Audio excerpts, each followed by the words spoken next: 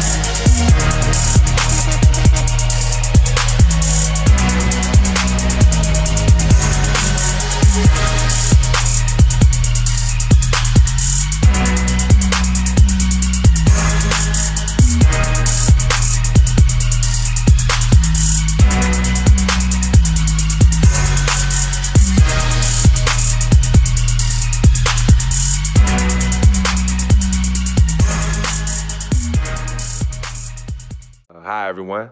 This has been an extremely tough decision.